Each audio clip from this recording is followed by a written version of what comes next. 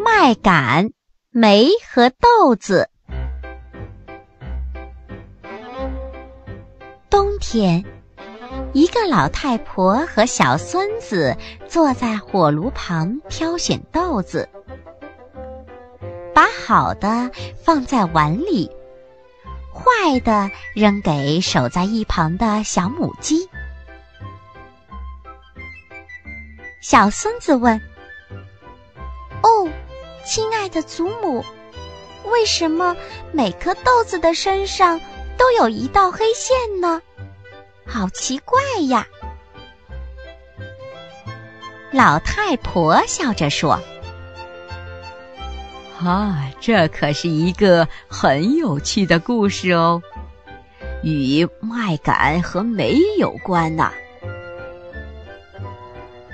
接着，他就讲起了这个故事。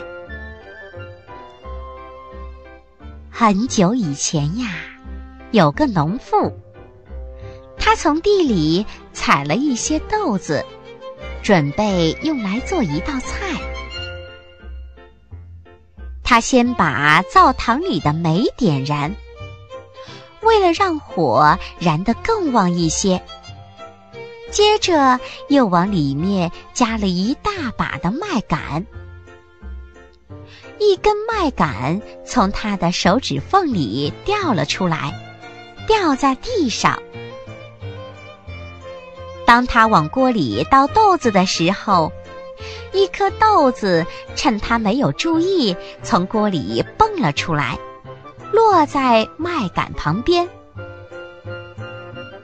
过了一会儿，一块烧得通红的煤从灶膛里滚出来，落在了他们的旁边。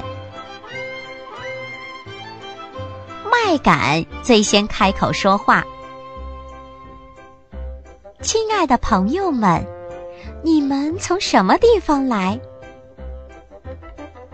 豆子回答说：“我从锅里蹦出来的，不然。”就和我的同伴们一样，被烧成了一道菜，真是太幸运了。梅骄傲地说：“我又何尝不是呢？差点被烧成灰，如果不是我奋力逃走的话。”麦秆说：“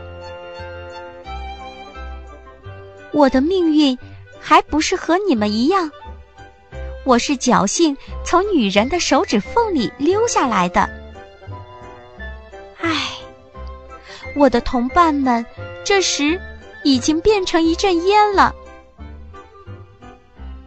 豆子说：“既然我们好不容易保住了性命，我们就应该像好朋友一样团结起来，离开这儿，逃到一个安全的地方去。”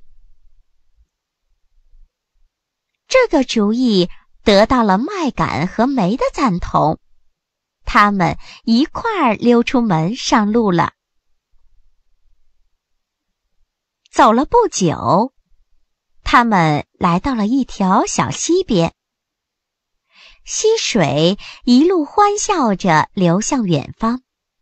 他唱道：“这儿没有桥，也没有跳板。”只有小鸟能够飞过去。豆子、麦秆和煤聚在一起，仔细的商量。最后，麦秆说：“我可以横在小溪上，当做桥，你们从我身上走过去。”煤的性情很急躁。麦秆刚横躺在小溪上，他就第一个跳了上去。可当他走到一半的时候，听到脚下流水的哗哗声，看到一个个飞溅的浪花，心里害怕的要命。他不敢往前走，也不敢往后退，只好待在那儿不动。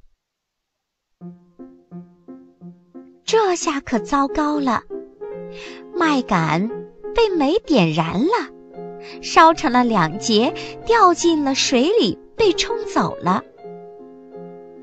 煤也同时掉入水中，像所有炽热的煤块落在了水里一样，发出了嘶嘶的几声，就没命了。